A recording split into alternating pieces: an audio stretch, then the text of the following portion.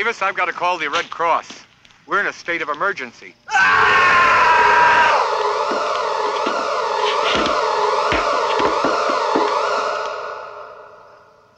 Jesus Christ!